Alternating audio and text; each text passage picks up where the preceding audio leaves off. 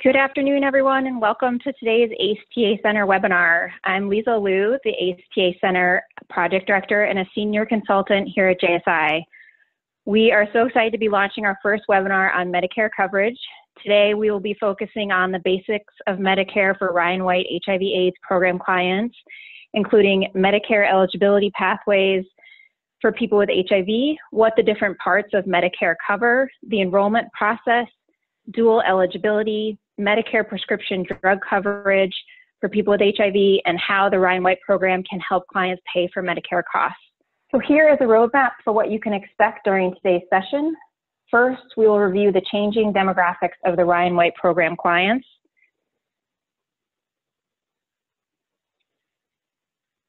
And then we will discuss the Medicare eligibility pathways for people with HIV, followed by a breakdown of the different parts of Medicare um, A, B, C, and D. After that, we'll talk about Medicare prescription drug coverage for people with HIV, and finally, the Medicare enrollment process and common enrollment challenges for Ryan White programs. We'll introduce several ACE Center resources throughout the presentation that you can access after the webinar, and we'll end with a Q&A session.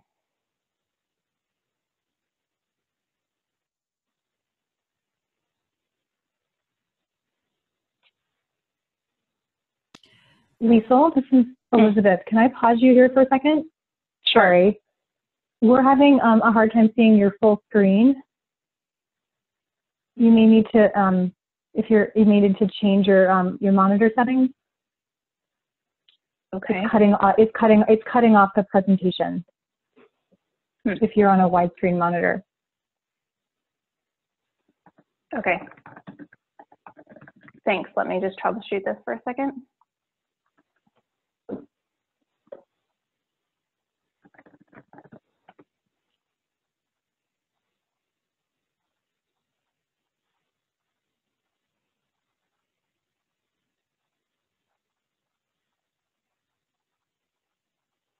Is this better?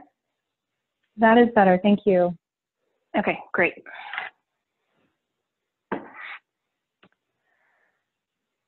just hold on, everyone, while I make a quick change.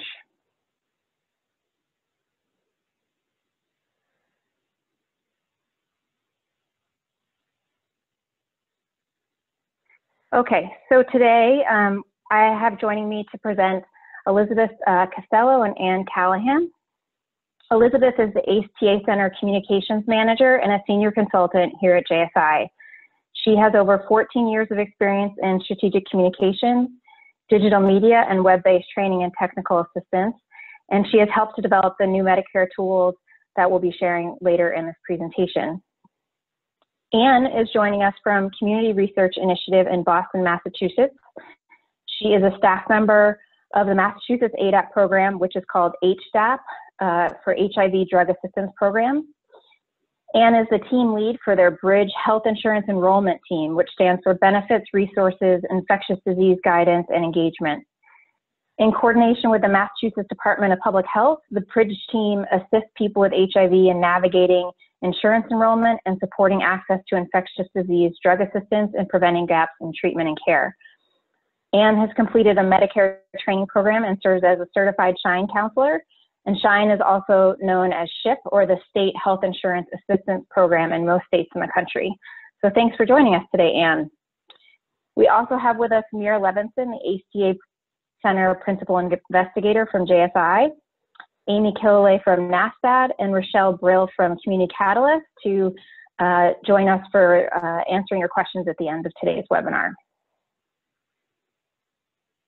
So first, let's start out with a poll.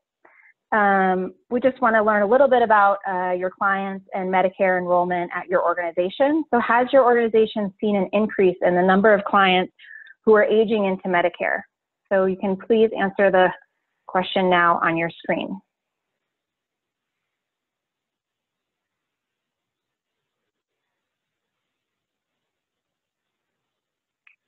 Great, so lots of answers coming in.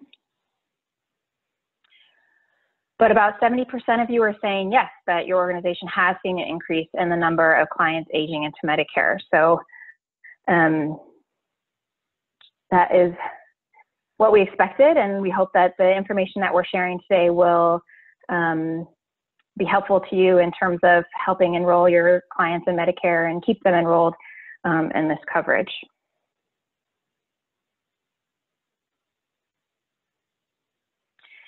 So I want to get started uh, by looking at the changing demographics of Ryan White program clients.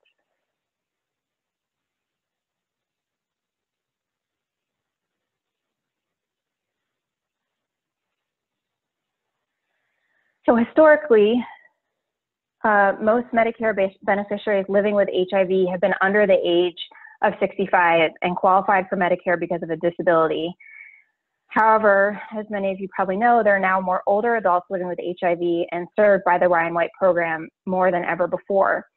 Medicare is the largest source of federal funding for HIV AIDS care in the US, and about one quarter of people with HIV who are in care get their health coverage through Medicare.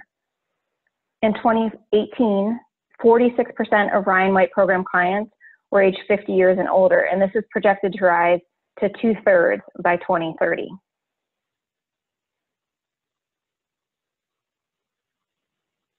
So let's take a closer look at the data.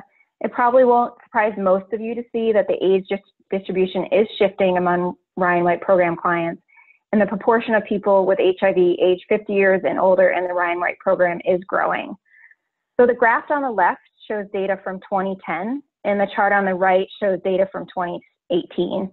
And as you can see, the percentage of Ryan White program clients aged 35 to 50 years decreased from 2010 to 2018.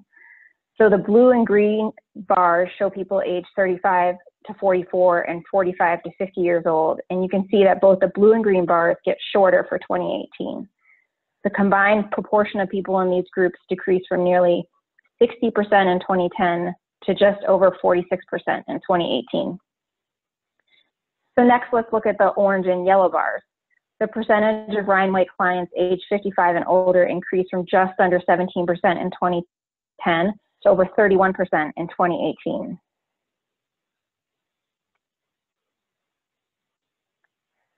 And so a bit more here, let's take a look at the characteristics of people with HIV who are enrolled in Medicare. Remember not, that not all these people are Ryan White clients. And also there's a lot of people that have been part of the Medicare program for many years for reasons other than age.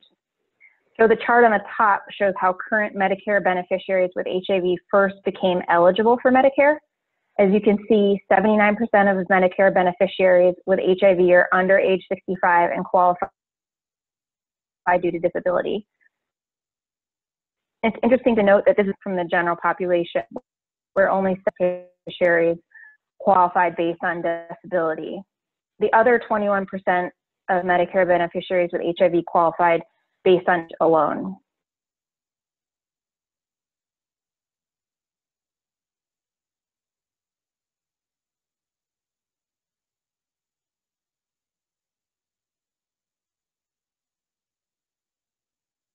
A legal resident for at least five years, with some exceptions.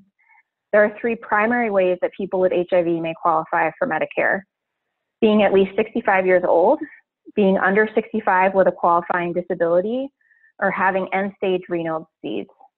So, CMS has a calculator you can use with your clients to determine Medicare eligibility, eligibility, and we're chatting out the link to that now. And I'm going to talk about a more a bit more in detail about the first two pathways that I um, listed here. So as I just noted, any U.S. citizen or eligible legal re resident qualifies for Medicare when they turn 65. And we'll go into the different parts of Medicare soon. But in order to qualify for Medicare Part A hospital services without paying a monthly premium, individuals must have at least 40 quarters of Social Security work credits People earn work credits while working in a job and paying Social Security taxes.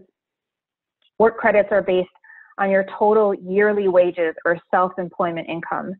And generally, individuals earn up to four credits each year. So the amount needed for a work credit does change from year to year. So 40 quarters or credits equals about 10 years worth of work.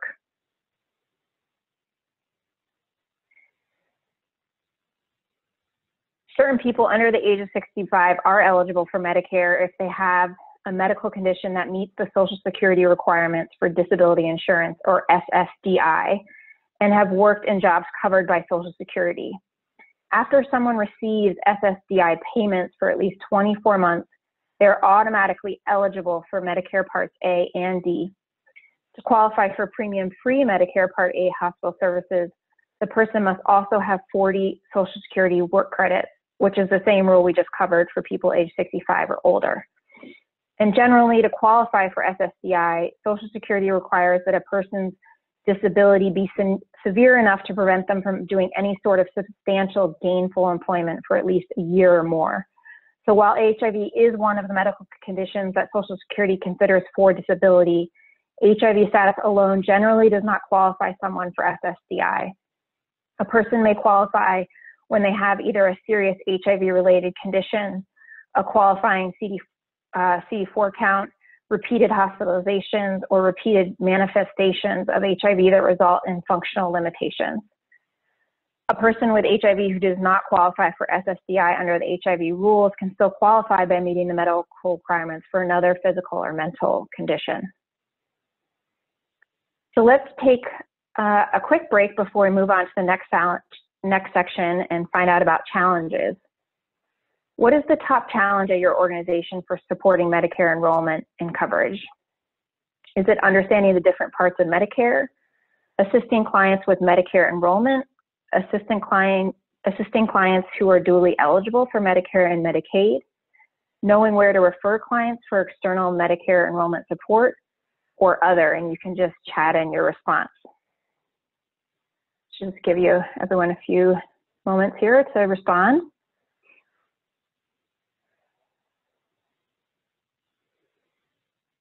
What it looks like some of the leading challenges are understanding the different parts of Medicare. About almost 40% of you.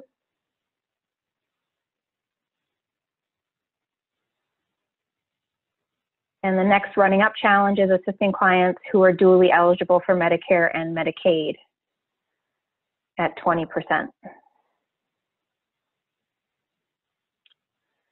So we can end that poll and show you all so as you can see, about 40% of you said that understanding the different parts of Medicare um, is the top challenge with assisting clients who are dually eligible for Medicare and Medicaid as kind of the runner-up with some others close behind. So I think the information that we're about to share will be really helpful, and we also have resources that um, uh, include much of the information that we're going to be sharing on the webinar today that we'll be um, sending you the links for at the end of the webinar. So with that, I am going to turn it over to Elizabeth uh, to cover the fundamental parts of Medicare. Elizabeth? Thanks for that overview, Liesl, and welcome to everyone who has joined us today. Um, so as you all just noted on that poll, the top challenge is understanding the different parts of Medicare. We're actually going to start right with that. We're going to start with those parts of Medicare.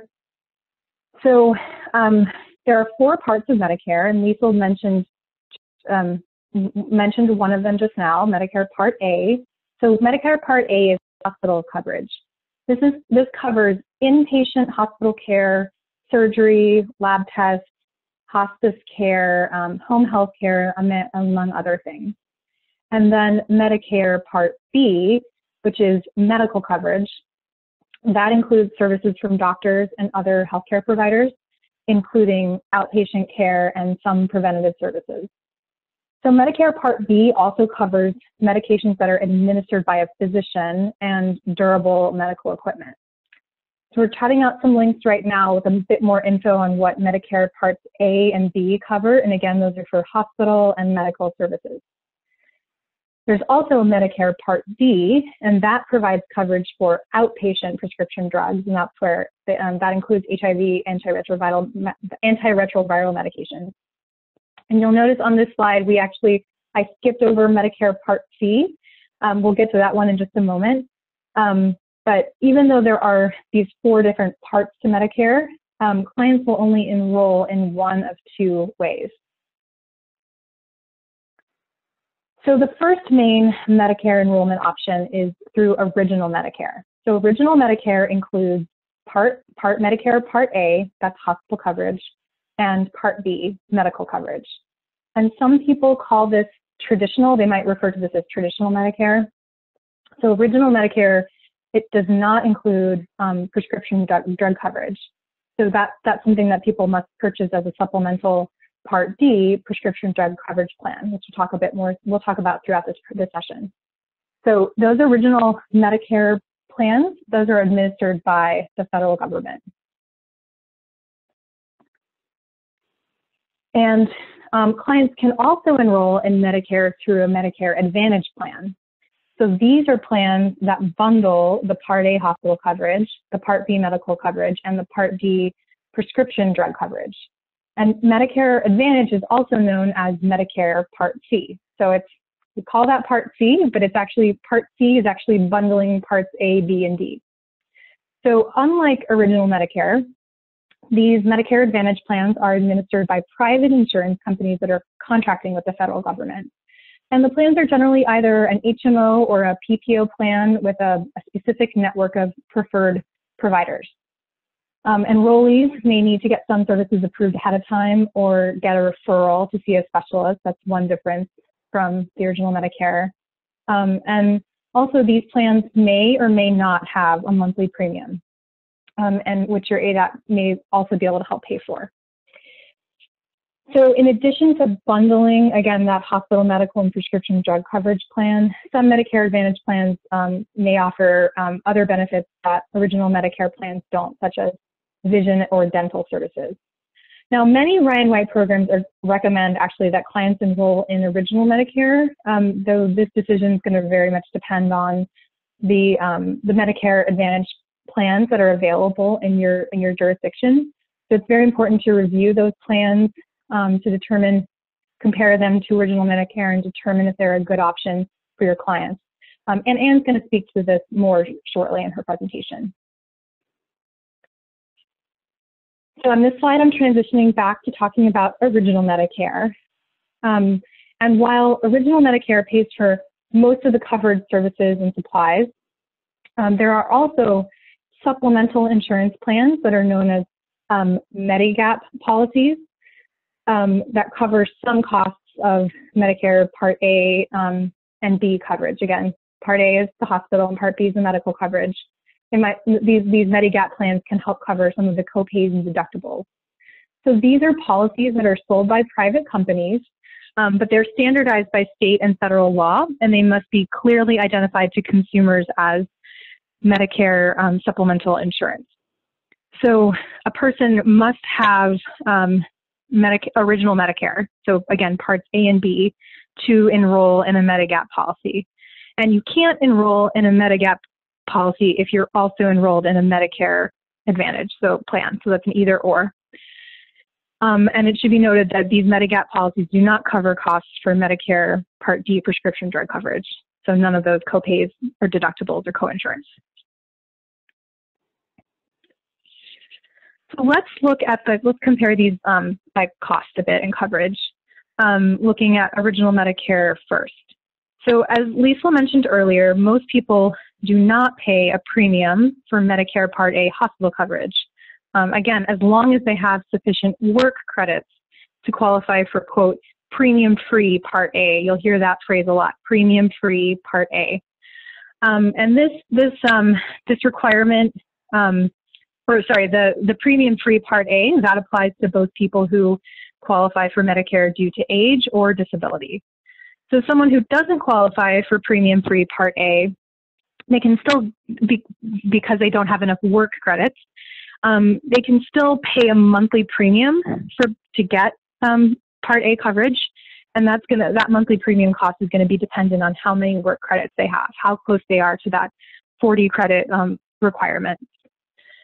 And then everyone, anyone with original Medicare is going to be paying a monthly premium for Medicare Part B medical coverage that's going to be based on their income.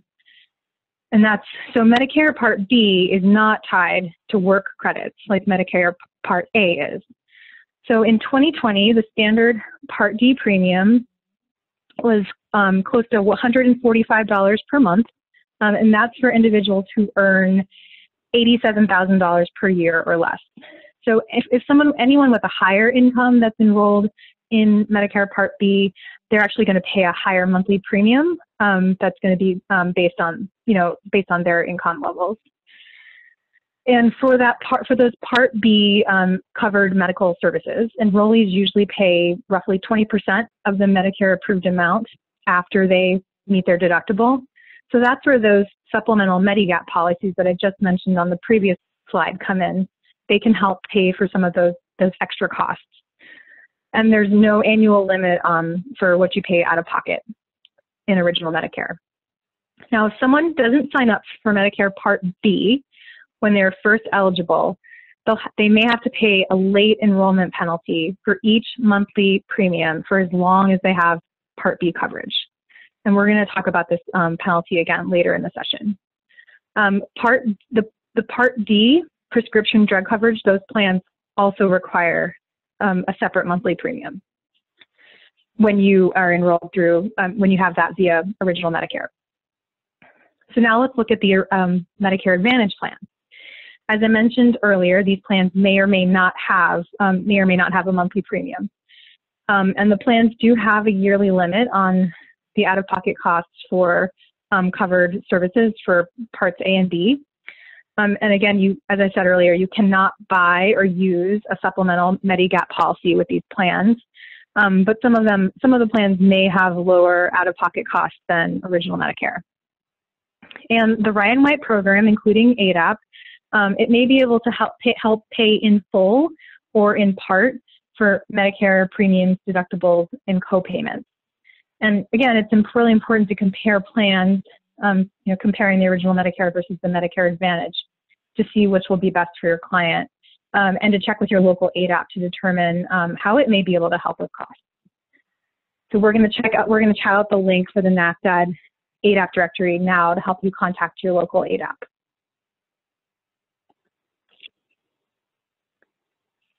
So one of the other um, one of the other um, challenges we noted that we've noted on the slide earlier, or the poll earlier, was around dual eligibility for Medicare and Medicaid.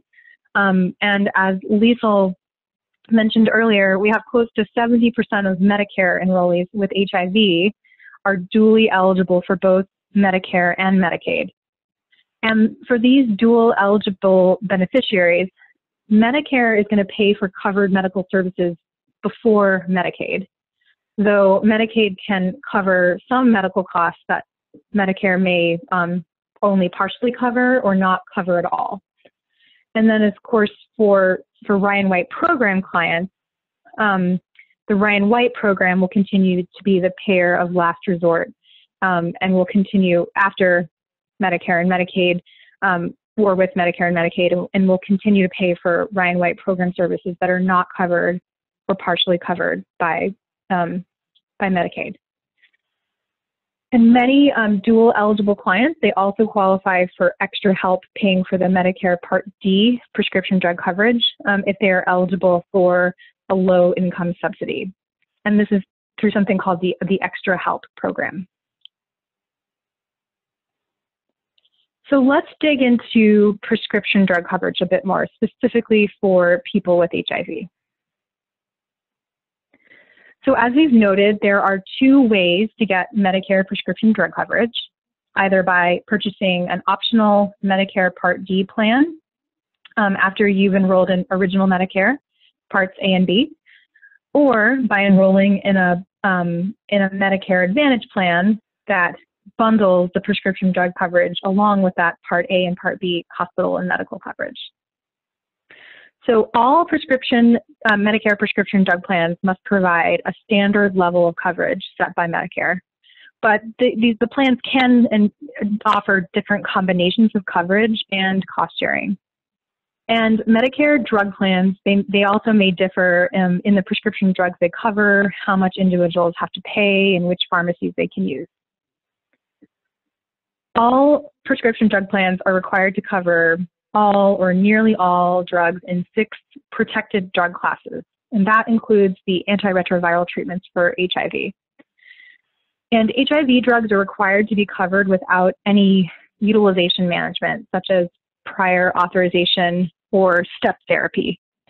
So if you're not familiar with those terms, um, prior authorization is is requiring coverage and utilization review before prescribing a preferred drug regimen.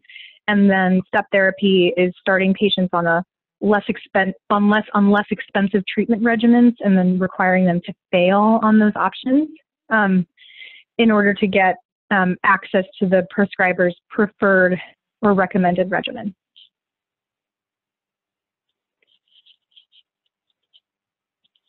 So similar to the Part B late enrollment penalty that I mentioned, um, there's also a late enrollment penalty for people who choose not to enroll um, in prescription drug coverage when they are first eligible, and that's at any age, whether you're qualifying by disability or at age 65.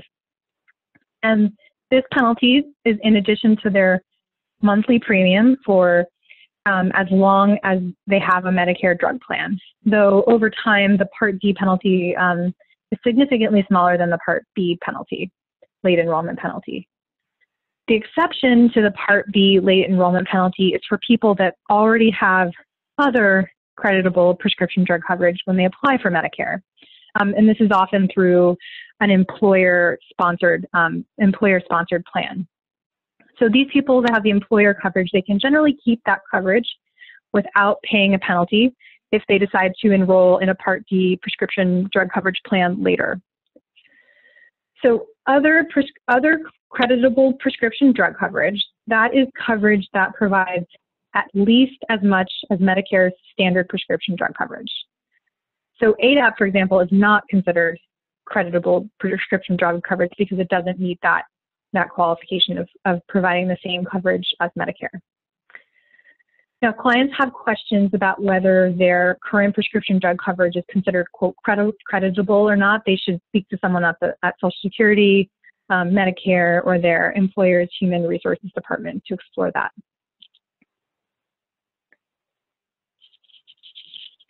So you may have heard about the Medicare donut hole, um, or this is the coverage gap for prescription drug coverage. And this donut hole refers to the gap when a Medicare beneficiary's initial Medicare prescription drug coverage has ended, but they do not yet qualify for catastrophic coverage. So you enter the donut hole when your total drug costs, and that includes um, that includes what you and your plan, both you and your plan, have paid for your drugs, when that reaches um, a certain limit. So that's the second box on this screen or on this on this graphic. So in 2020, the limit that limit is $4,020. So, so once you hit that amount, then you, you are in the donut hole. That's the, the circle with the orange bar at the bottom. Um, when someone is in that donut hole, the amount that they are paying for prescription drugs will be higher until they have met the limit for um, for true out-of-pocket costs which is $6,350 in 2020. So again, once you hit that limit, now you've reached the catastrophic coverage threshold. That's the fourth box in this graphic. And that's when you begin to pay significantly lower costs for the remainder of the year. And this process resets again in the following year. Um, so it resets back to zero. And we just want to note that ADAP expenditures for clients that have Medicare Part D coverage, those do count towards their true out-of-pocket costs. Um, so this is going to help clients reach that catastrophic coverage level faster. So again, you should, you should um, we encourage you to check with your local ADAP about how they can help um, clients pay for drug coverage, especially when they're in this, this coverage gap. So I'm now going to turn it over to Anne to talk about her experience in Massachusetts with counseling clients on enrolling in original Medicare versus Medicare Advantage coverage. Hi, everyone. Thank you so much for joining us on this webinar today. Um, so I'm going to go over some of my own experiences working with clients in Massachusetts. So, counseling individuals about the pros and cons of original Medicare and adding an optional Medigap plan versus a Medicare Advantage plan is complicated and may vary from state to state. Some ADAP programs may be able to cover the monthly premiums for a Medigap plan or Medicare Advantage plan, some may not. Understanding what Medicare plans your state's ADAP can pay and what a Ryan White program client would be responsible for themselves is vital in assisting these clients to make the choices that are best for them. Clients who opt for original Medicare only without enrolling in a Medigap plan should be carefully counseled about the coverage gaps in original Medicare, including deductibles and co-insurance. Beneficiaries choosing original Medicare should also be encouraged to enroll in Medicare Part D prescription drug coverage and your state may require them to enroll in this coverage.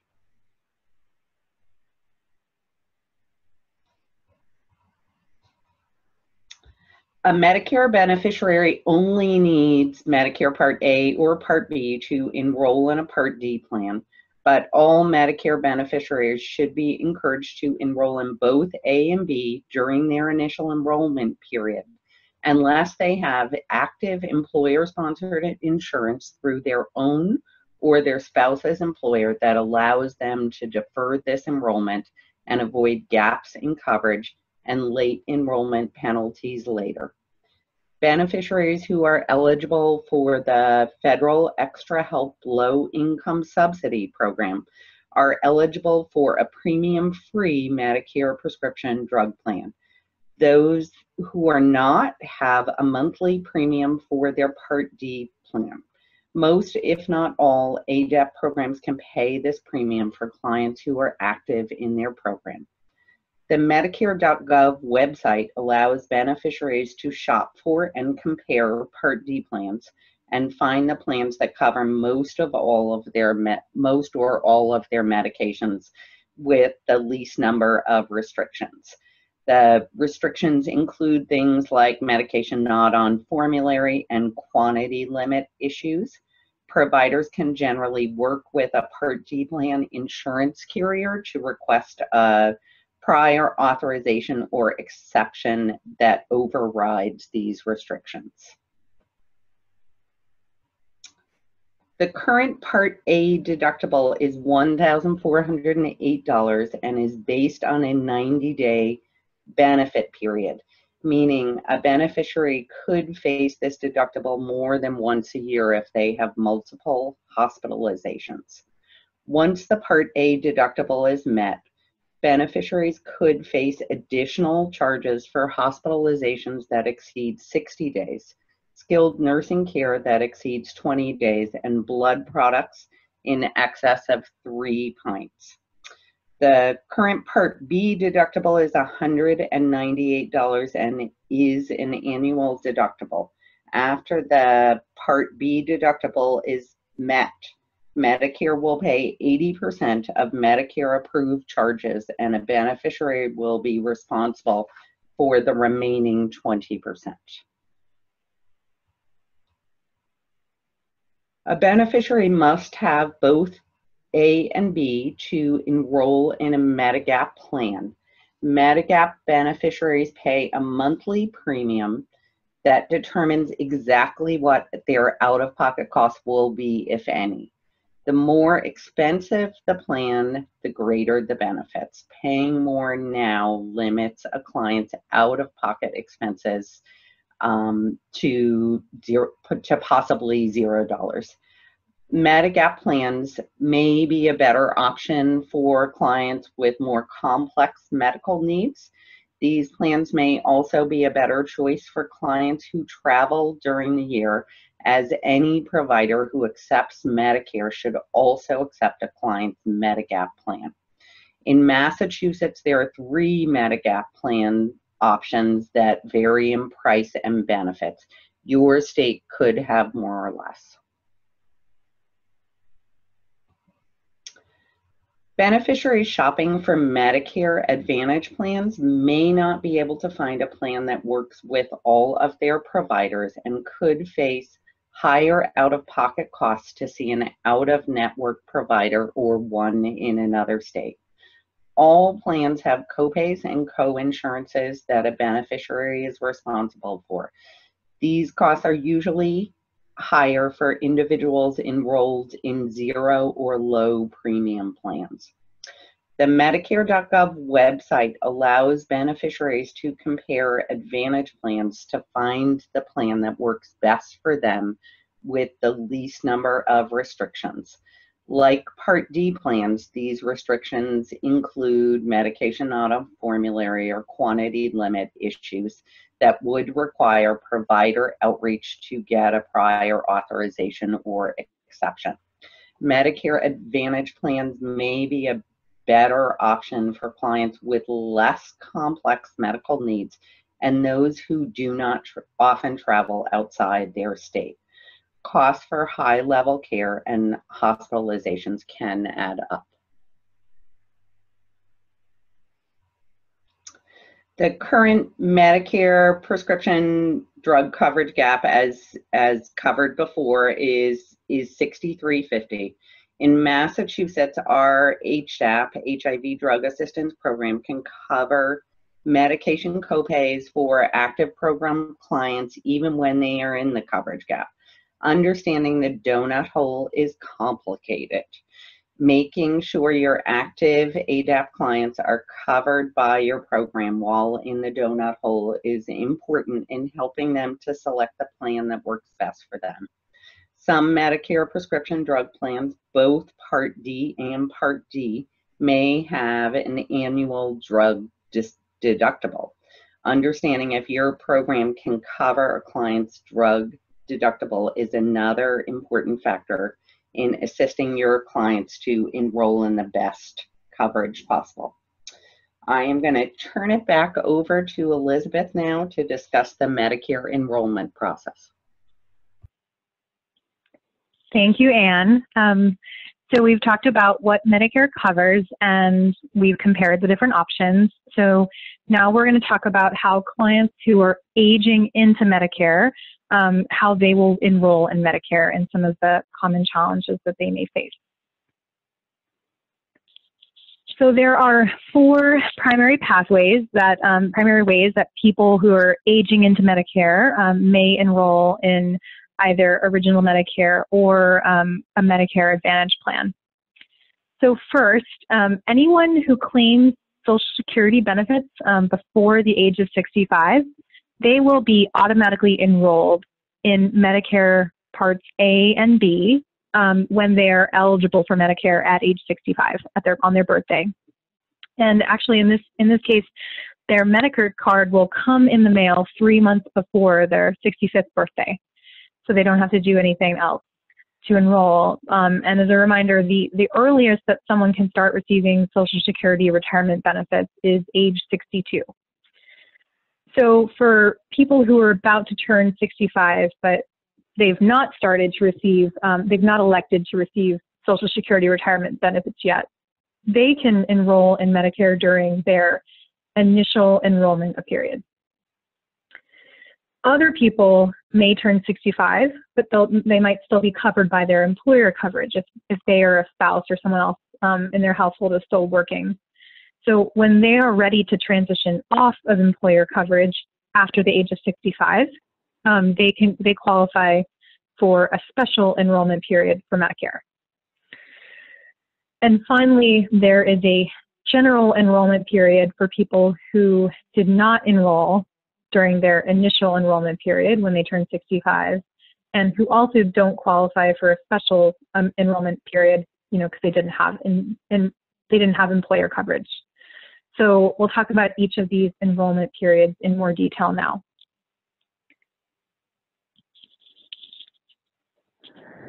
So again, that the Medicare initial enrollment period, or um, sometimes we refer to that just as the IEP, that is a seven month period that starts three months before someone turns 65 and then includes the months that they turn 65 and ends three months after they turn 65. So if someone signs up for Medicare during the first three months of their IEP, um, in most cases, their coverage will start the first day of the month that they turn 65. And if they enroll in, in Medicare the month they turn 65 or three months after, so that the, the second half um, of that IEP, um, their coverage start date will be a bit delayed. So we really want to reiterate and stress how important this initial enrollment period is for clients who are aging into Medicare and don't have employer-sponsored coverage. So I mentioned the Medicare Part B, that late enrollment penalty earlier. So people who do not sign up for Medicare um, Part B medical coverage, either through original Medicare or through a bundled Medicare Advantage plan, if they don't enroll when they're first eligible, um, they will be subject to a late enrollment surcharge. And this surcharge or penalty is equal to 10% of the standard Part B premium for each of the 12, each 12 months of the delay. So the longer someone delays, that, um, that late, late enrollment surcharge can increase. And this is a lifetime of increased cost. This is a penalty that continues for as long as you have Medicare Part B coverage. And as I mentioned earlier, there is also a late enrollment penalty for Part D um, prescription drug coverage, but that is significantly smaller than the Part B penalty. So it's really important to counsel your clients to enroll and, and support them um, to enroll in Medicare Part B when they first become eligible to avoid this ongoing penalty. So clients that have employer coverage are not required to sign up for Medicare at age 65 during that initial enrollment period. Um, and in this case, they don't need to do anything proactively um, to defer their Medicare enrollment as long as they're still covered by an employer plan. So we'll talk about we'll talk about when they enroll now. So there is a special enrollment period for people who are transferring um, from employer-sponsored coverage to Medicare coverage after the age of 65. Now, some people may have employer coverage um, through their own eh, coverage or through a spouse. Um, and when that employer coverage ends, they have eight months to apply for Medicare. And the coverage begins the first month after they enroll. So I want to note that COBRA health plans um, are not considered coverage based on current em employment. And someone who transitions from, if someone transitioned from a employer plan to COBRA, that would, they would not be elig then eligible for Medicare, Medicare um, special enrollment period when their COBRA ends. So, you know, really people should be going from employer coverage to Medicare if they're beyond the age of 65. And I also want to note that even if someone has employer coverage, they can still enroll in that um, Medicare Part A hospital coverage if they are eligible for the for the premium free Part A. There's no penalty or reason why you wouldn't need to do that. You can do that when you turn 65 and and have both and be covered by both um, the the Medicare Part A and your employer coverage. And remember, we talked about how people with um, 40 work credits, or which is approximately 10 years of work history, um, they're they're eligible for that premium-free Part A. And they can also check in with their employer, um, their human resources department, to make sure there aren't any um, issues with being enrolled in, in both of those. Now, finally, for individuals who miss their initial enrollment period, they don't enroll in the seven months around their birthday, their 65th birthday, um, and that do not qualify for a Medicare special enrollment period, they can enroll, um, their options for is to enroll during the general enrollment period. Um, now, of the of these different enrollment periods that we're covering, um, this is the only one that's tied to annually to, to the same calendar um, dates. Similar to marketplace enrollment, um, marketplace enrollment, which has you know annual dates. So the general enrollment period for Medicare that runs from January 1st to March 31st annually. So someone who's enrolling during the general enrollment period at the beginning of the year, um, their coverage will not actually start until July 1st of that year. So they're going to have a coverage gap um, of, of April, May, and June. Um, and of course, these individuals may um, they may have to pay um, a Medicare Part A premium if they don't qualify for the premium-free Part A um, based on work credits.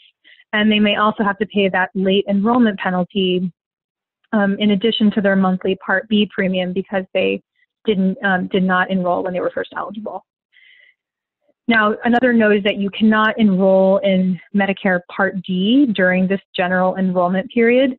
Um, so when that when the Medicare A and B coverage starts in July, um, then then they can enroll in the optional uh, Medicare Part D prescription drug coverage. So I just mentioned Marketplace briefly. Um, and um, similar to COBRA coverage, having Marketplace coverage past the age of 65 also does not qualify someone for a Medicare special enrollment period. So um, again, that's only for employer coverage. So people who are enrolled in a Marketplace plan um, at age 64, they should enroll in Medicare during their initial enrollment period as well to avoid, avoid those, those late enrollment penalties. And um, people are not, people who have marketplace coverage, they are not automatically terminated from their marketplace plans um, once they enroll in Medicare. They may get a notice from the health insurance marketplace that says they, they may soon be eligible for Medicare um, and can change their marketplace plan. But they, you know, clients definitely should not be waiting for this notice if it, you know, in case it doesn't come or in case they miss it, um, they should actively terminate their um, their plan once they have their marketplace plan once they've enrolled in Medicare. Um, and also, once someone has Medicare Part A coverage, once that coverage starts, they wouldn't be eligible for any premium tax credits or any other savings from a marketplace plan. So, and if you if you kept your market, so then and therefore in that scenario, if you kept a marketplace plan, you have to be paying full price for it. So for this reason, in most cases, you'll want to someone end your marketplace coverage again once you're eligible for Medicare, and don't wait for that notice. Um, to, and be sure to sign up for, for Medicare once you're eligible at 65. And healthcare.gov includes a, a questionnaire, um, a web-based questionnaire with um, step-by-step instructions for canceling um, your marketplace plan when, when transitioning to Medicare. And so we'll go ahead and chat that link out for that now. All right, let's pause for two knowledge checks on what we've just learned about the Medicare enrollment process. So first we're going to look at Keith. Keith is turning 65 in July and he is currently enrolled in marketplace coverage. So what should, in this scenario, what should Keith do? Um, should he A, keep his marketplace coverage through the end of 2020 and enroll in Medicare during the general enrollment period, which starts in January 2021? Should he B, enroll in Medicare during the initial enrollment period around his birthday and then proactively cancel his marketplace plan? Or should he C, um, enroll in Medicare through a special enrollment period after his birthday? All right, so a lot of responses coming in. It looks like the majority of you have selected um, option B, which is that's right. Um, you know, we want to avoid to avoid a late enrollment penalty. In this scenario, um, Keith would want to enroll in Medicare during his initial enrollment period and then cancel his marketplace plan after his Medicare coverage begins, so he doesn't um, doesn't pay those those Part B penalties.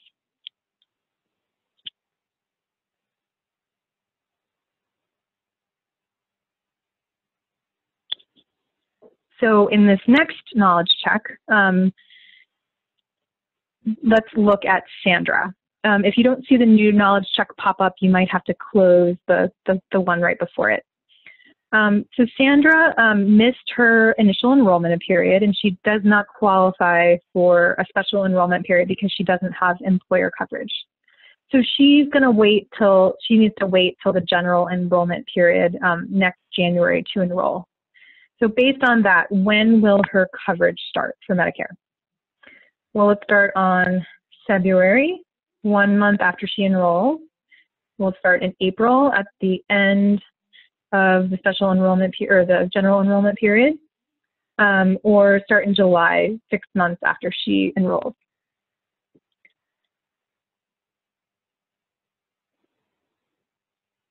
So I'll give you all a moment to answer this poll.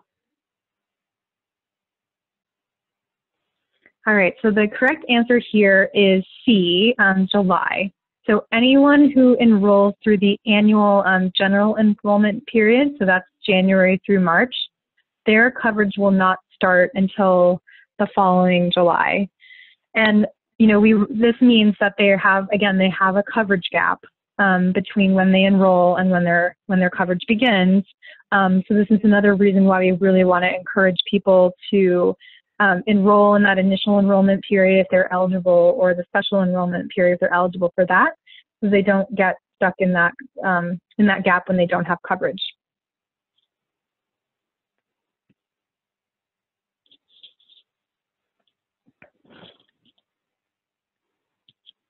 All right, so we've seen how it can be pretty confusing to understand the different parts of Medicare and all the different ways to enroll. Um, so there are several things that you can do to help support your Ryan White program clients as they enroll in Medicare. So to one thing you can do is to proactively identify clients that are aging into Medicare um, and help them avoid those late enrollment penalties um, some strategies are you can create automated, auto, automated reminders in CareWare or ask your uh, medical case managers to flag clients as they're approaching their 65th birthday and start to have that conversation about um, that, you know, the initial enrollment period and what steps you need to take to make sure you're covered during that time.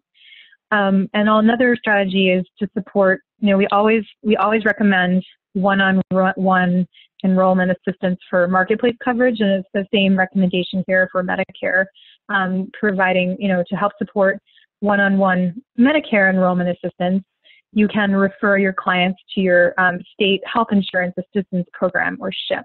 So we've mentioned those earlier. Um, Anne is working with a SHIP. So SHIPs provide free local insurance counseling and assistance to Medicare eligible individuals and their families and their caregivers. Um, this, this, this program may have a different name in your state, um, but we're going to chat out the link to the SHIP locator now. And you can also consider having a staff person trained as a SHIP counselor, which is what Anne did. So again, I'm going to turn it over to her now to share her experiences as a, as a, as a um, counselor in Massachusetts. Thank you, Elizabeth. So the Massachusetts Shine program provides free health insurance, counseling, information, and assistance to Massachusetts residents with Medicare, their caregivers, and those approaching Medicare eligibility. I learned about the SHINE certification training program during the 2018 Medicare open enrollment period after referring a complicated Medicare client to SHINE. In April of 2019, I completed the 50 hour training program. As a Shine counselor, I am better equipped to assist HIV positive Massachusetts residents who are aging into Medicare and those already enrolled in Medicare navigate the complexities of this coverage, including enrollment into the different parts of Medicare. While the primary focus of this training was Medicare, I also learned a lot about our state's Medicaid program and some other state programs that I did not know about, which has helped me immeasurably in, in helping Massachusetts HIV clients. Your state may have a similar program named SHIP, I would encourage anybody working with Ryan White program clients to consider completing a Medicare training program if they are given the opportunity to do so. As more and more Ryan White program clients age into Medicare, I think it's ideal to have Ryan White program staff trained as SHIP or Medicare counselors so they better understand the complexities of Medicare, how Medicare works with their program requirements um, and the coverage needs of people living with HIV. In this next group of slides, I'll review some common Medicare enrollment challenges. The first is making sure Ryan White program clients enroll in Medicare A and B when they first become eligible, unless they have a legitimate reason like employer sponsored insurance to defer this enrollment. Beneficiaries who do not enroll in Medicare Part B during their initial enrollment period will likely face a 10% late enrollment penalty that increases year after year. These individuals will generally need to wait until the Medicare general enrollment period to enroll in coverage that begins on July 1st. The general enrollment period is every year from January 1st to March 31st. Um, but there is a lengthy gap in coverage um, depending upon the time of year contacting the Social Security Administration to understand the implications of deferring enrollment into Part A and or B is highly recommended. Part D enrollment deferral is another thing to consider, but it is easier to resolve and the penalty is significantly smaller. To, as I believe we've covered this already, but to defer Part D enrollment without a penalty beneficiaries must have prescription drug coverage at least as good as Medicare's and should qualify for a special enrollment period when this coverage ends. Beneficiaries without other prescription drug coverage or coverage as good as Medicare's could face a 1% penalty and may need to wait until the Medicare open enrollment period, leaving them without prescription drug coverage. Beneficiaries who became Medicare eligible prior to age 65 due to a disability who are paying a late enrollment penalty because they didn't enroll when they were first eligible should be able to have this penalty reset when they turn 65.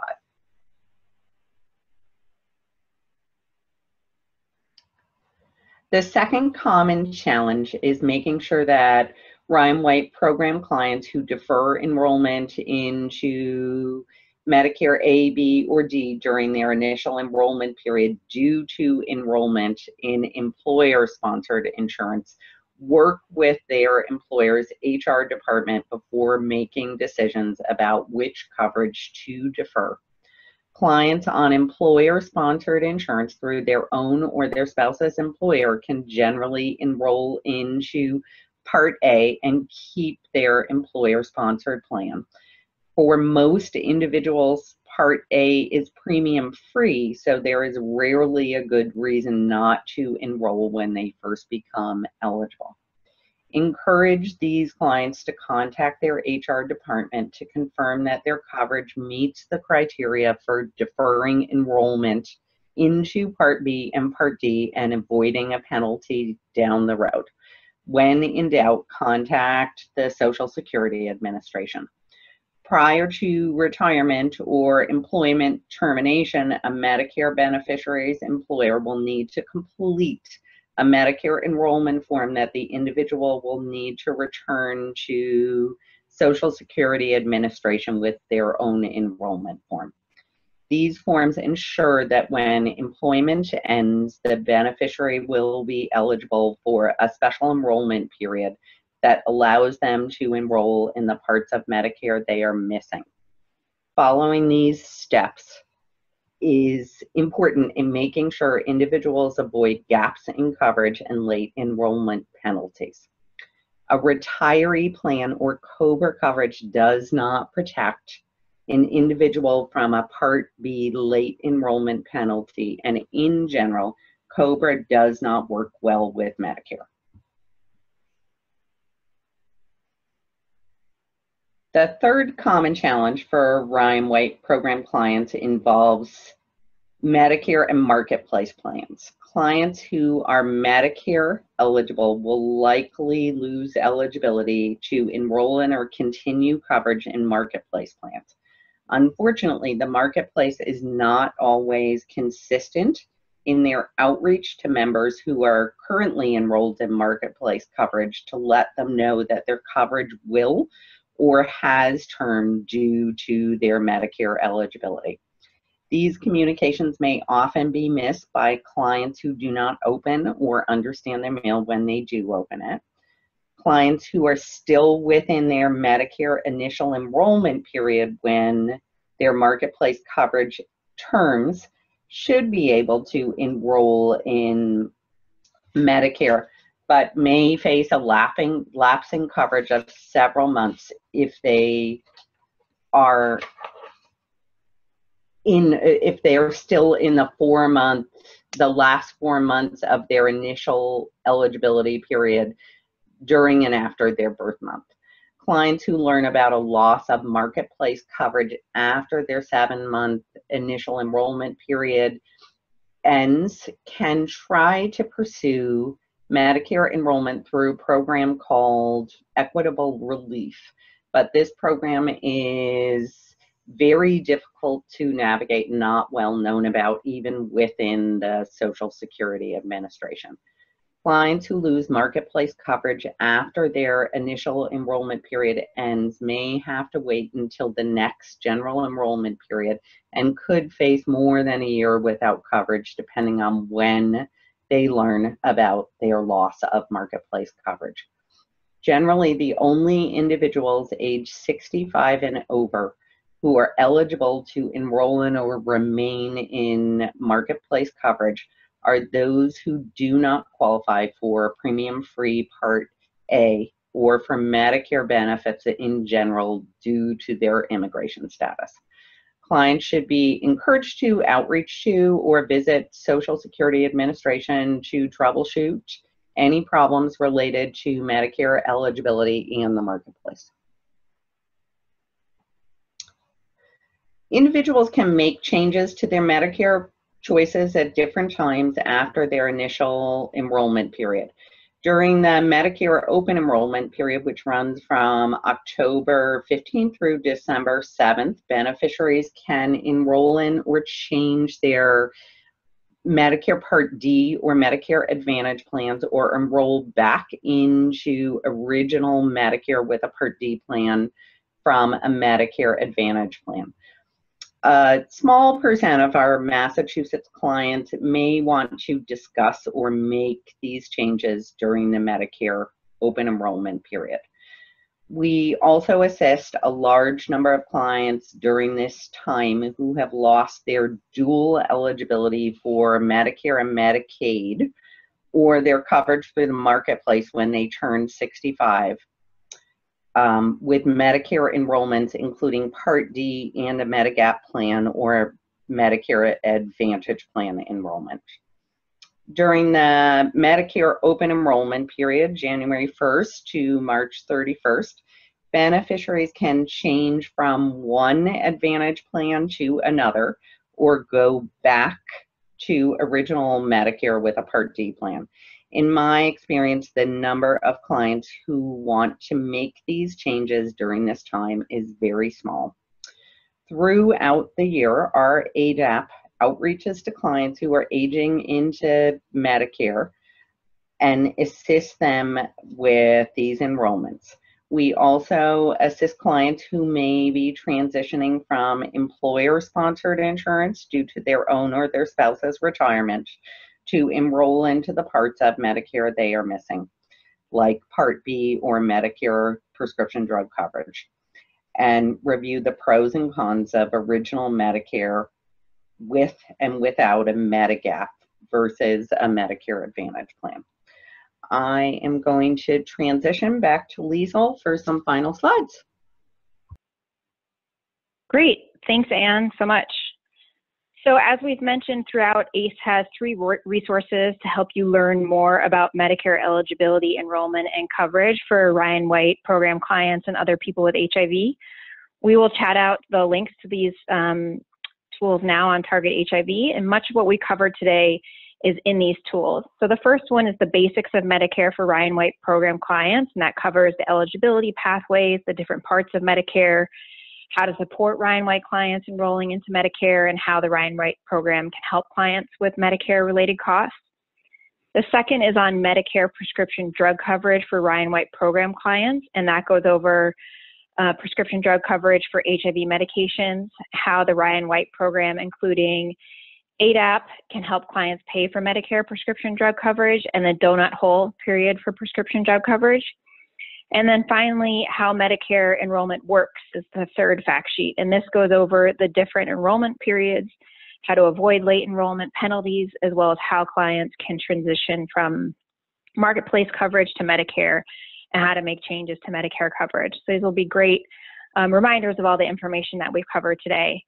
Um, we have added Medicare to our scope at the ACE Center, and we'll be releasing more tools this summer and planning for additional technical assistance to come in the coming years. So please let us know of your Medicare TA needs via the chat or by email at a later date. You can email us at uh, acecenter at jsi.com. So some of you have probably heard of the CARES Act, which stands for the Coronavirus Aid, Relief, and Economic Security Act. And we just want to talk about it for a few moments in terms of healthcare access for people living with HIV. The CARES Act was signed into law on March 27, 2020. And among other things, the CARES Act adds a couple of important new requirements for Medicare plans. First, the Act now requires that Medicare Part D plans provide up to a 90 day, a three month supply of covered Part D drugs to enrollees who request it. Some plans provided this flexibility in the past, but now it is a requirement. So if your clients have Medicare Part D and would like to request a 90 day supply of their medications, this option is now available to them. Second, Medicare and all group health insurance plans, including marketplace and off marketplace plans, are now required to cover COVID 19 testing with cost sharing, such as deductibles, co-pays, and co-insurance. And many state Medicaid programs are also covering COVID 19 testing without cost sharing. And regarding insurance coverage, you should remind your clients that services are not um, that are not related to testing may still be subject to insurance cost sharing. And also very important, short, short-term limited duration plans are not considered insurance and may not be subject to these requirements. And finally, uh, the Health Resources and Services Administration HIV AIDS Bureau continues to update its list of coronavirus 2019 frequently asked questions and resources for Ryan White program recipients, subrecipients, and stakeholders. I strongly encourage you to check that frequently, and if you aren't on the list already, already definitely sign up for the HRSA HAB information email to make sure you're getting regular updates from HRSA. So we're chatting out the link um, to the email sign up now. And then next, I just wanted to talk about helping your clients stay covered. So some of your clients may be experiencing unexpected life events or special circumstances, including losing a job or experiencing income changes. It's important to remind your clients that they may be eligible for coverage through Marketplace, Medicaid, CHIP, and more. In addition, some of your clients may also be turning 65 and eligible for Medicare coverage. So options like COBRA are out there too, but COBRA can be expensive and not, may not be the best fit for their coverage needs. So it's important to look at all the options before deciding to use COBRA. For example, many life events and special circumstances create marketplace special enrollment periods or SEPs. For example, people who lose employer-based health coverage because of losing or quitting their job are eligible for the loss of coverage SEP right now.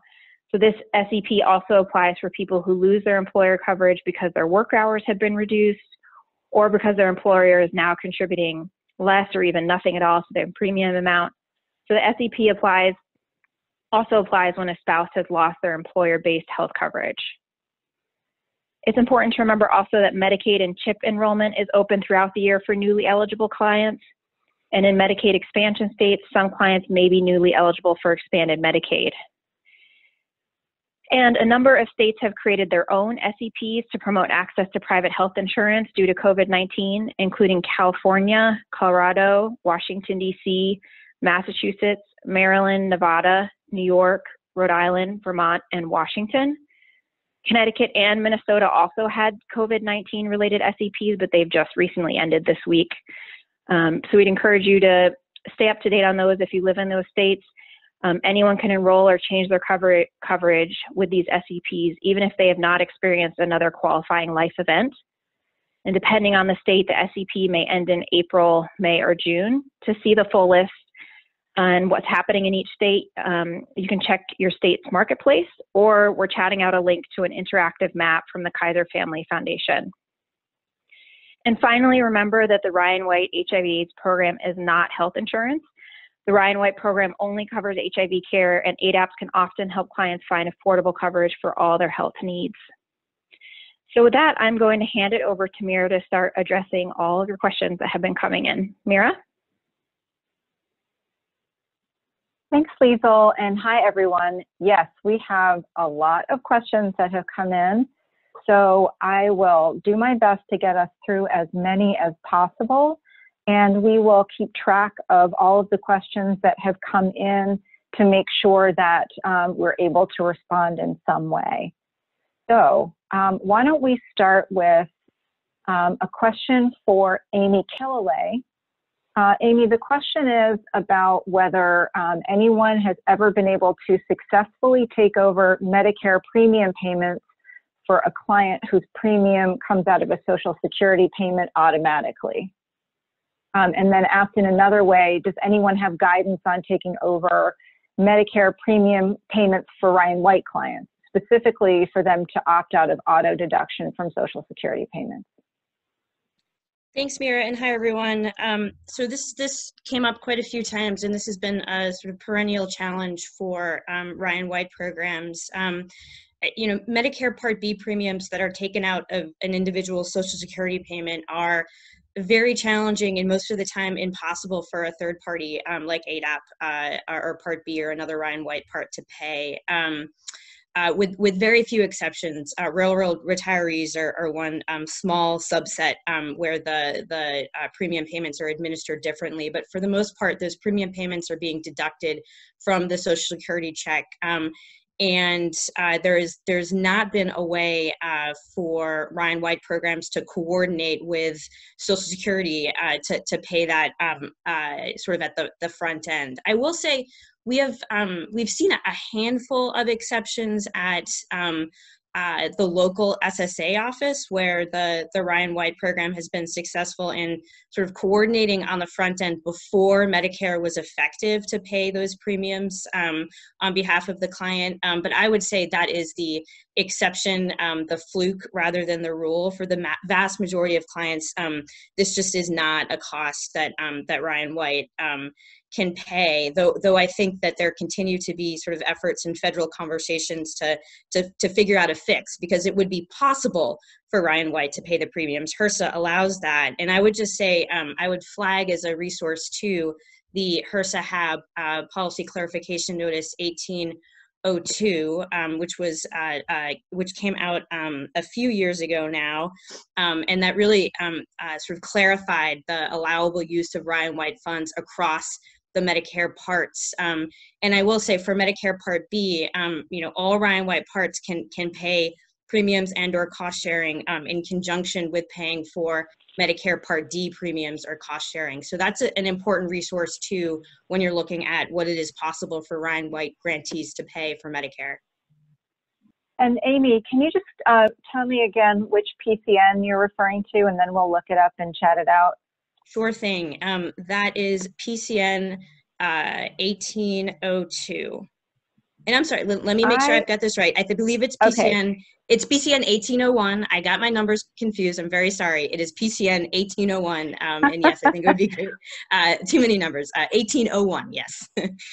Great. Okay, we will chat that one out in just a few minutes while we uh, take some more questions. All right, so let me ask another question, and this time um, I'm going to ask a question from Anne. So Anne, can you talk about the difference between a Medicare Advantage plan and supplemental policies? Um, sure, I can talk about that. I think we did touch a little bit about this in the slides, but it certainly is complicated. So um, Medicare Advantage plans would be a private insurance plan that sort of replaces a client's traditional original Medicare A and B. A client's claims no longer go through um, Medicare in any way. Medicare is paying that private insurance carrier to manage that client's benefits. And as a result, the um, client may or may not have a monthly premium for those plans. Um, and they will always have copays or co-insurance that sort of um, replaces the traditional um, gaps that people see in original Medicare, which would be A and B. So a supplement policy is for somebody who chooses to stick with the original Medicare A and B with those gaps in coverage um, and deductibles and pay a private insurance carrier um, to cover some or all of the gaps in their original Medicare A and B. But it is complicated. Thank you. Um, all right, one for you, Elizabeth. Can you explain, uh, someone wants to know, can a Part C take place of a Part D? And here we're talking about uh, Medicare Part C and Medicare Part D. Yes, thanks, Mira. So the Medicare Part C, um, that that's the Medicare Advantage plan. So that automatically, by default, is bundling parts A, B, and D together. So a client who has a, a Part C Medicare Advantage plan, um, they would not need to they would not need to enroll or be able to enroll in a separate um, Part D plan. The only only only um, people who are enrolled in original Medicare, which is just Parts A and B, need to enroll in a separate Part D plan. Great. Um, uh, Anne, can you explain uh, how to determine if Part C has a premium or not, or what determines if a Part C has a premium or not? Um, certainly. It, it's really just when you search for the plans online, some of them are going to have monthly premiums, some of them are going to be um, zero dollar premium plans, but like everything in life, nothing is free. So generally, clients who enroll in Medicare Advantage plans with a zero dollar monthly premium are or lower premiums are going to face higher out of pocket costs um, than those who opt into a plan with a higher premium. Great. Um, I have a couple more questions for you, and then I'm going to ask Rochelle Brill to take a question. So the questions for you are first, um, someone wants to know, so Medigap plans are basically Advantage plans without Part D? Um, no, so it, Medigap plans would be Medicare supplement plans. So I, I, um, I, I think we, I, I, I feel like I already answered this, but maybe not. Um, so a Medigap plan would be for somebody who opts into original Medicare A and B and then separately purchases a plan through private insurance carrier that covers some or all of their gaps in coverage. And I got a Okay. With the question there, so sorry. Oh, no worries, no worries. Let's try one more. Okay. Um, if you elect Part C coverage, do you still have to pay for Part B? You do, you do. So, um, in addition to potentially having a premium for the Medicare Advantage plans, people are still responsible for the Part B monthly premium that normally gets deducted from their Social Security income. Great. Okay. Um, so, uh, Rochelle Brill, we have a question for you. Um, someone's asking whether CARES Act stimulus payments count as income when applying for health insurance. And let's just clarify, we're talking about the CARES Act related to COVID-19 that was just passed, not to be confused with the Ryan White Care Act. So Rochelle, if you could take that one. Uh, you might be on mute. Hey, Mary, can you hear me now? Yes, thank you. So the, the CARES Act stimulus payments, which are uh, $1,200 for an individual or $2,400 for a married couple, um, do not count as income for either Medicaid or um, marketplace coverage. The $600 bump in unemployment benefits, though, which was also um, written into the CARES Act, um, does not count as income for Medicaid co coverage, but does count as income for marketplace coverage. So in terms of um, eligibility, stimulus check does not count uh, for either Medicaid or marketplace, but the only difference is the $600 uh, bump in unemployment benefits does count as income for the marketplace, but does not count for Medicaid.